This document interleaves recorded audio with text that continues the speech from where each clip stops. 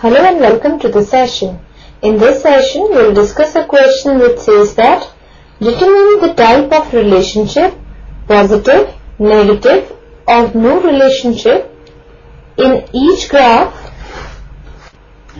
Here, this is the first graph which shows average temperature with respect to average annual rainfall and this is the second graph which shows swimming time from the year 1948 to 1996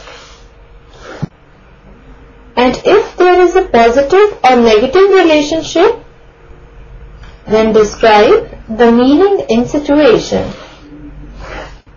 Now let us start with the solution of the given question. Now in the first graph, we are given average temperature on vertical axis and average annual rainfall on horizontal axis and on this scatter plot we see that the points vary a lot Here some points are moving upwards and some are moving downwards and these points are not following the same trend. They are scattered all over the graph. It shows that there is no relationship between the two variables.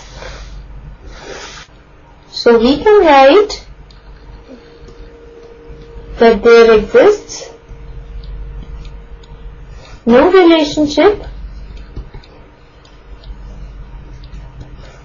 between the average temperature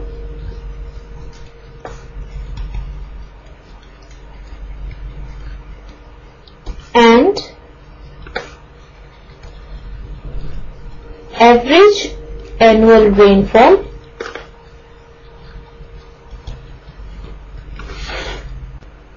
because the points vary a lot and are scattered all over the graph.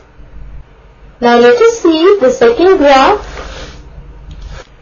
Now in the second graph, we have swimming time of winning the 200 meter swimming championship on vertical axis and years on horizontal axis. Now here we can see that all the points are moving in downward direction in the scatter plot.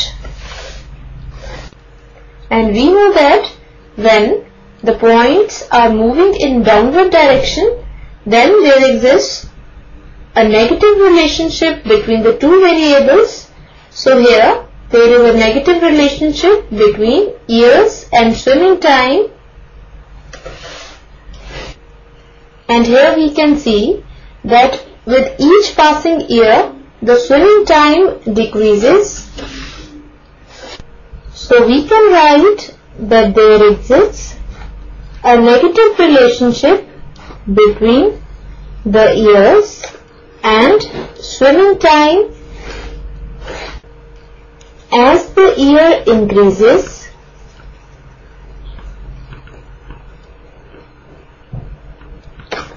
the swimming time